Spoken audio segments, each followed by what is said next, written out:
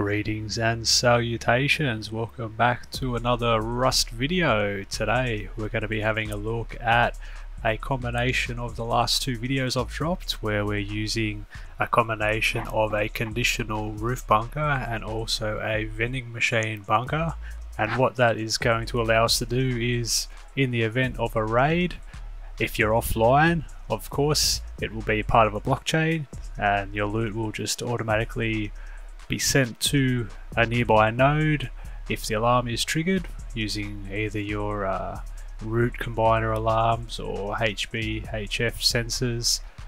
Or alternatively if you are online you can uh, spawn into one of your bunkers. You can pull all your loot from the chain or all of the loot that you want to save and you can uh, whack it into the vending machine put up a little uh, sell order for something unique you know, something that someone won't be able to craft while they're waiting outside your base. And uh, just grab, for example, these rockets and we'll chuck them into the vending machine. And then we can see it's on the map. There we go. But if we go over to, say, for example, Bandit Camp, we can see it's not reachable by drone because we have the roof bunker that's blocking access. But if we uh, take away our roof bunker, then we'll see that we can indeed access that vending machine and we can yeet our loot away to safety. Nice raid, GG's.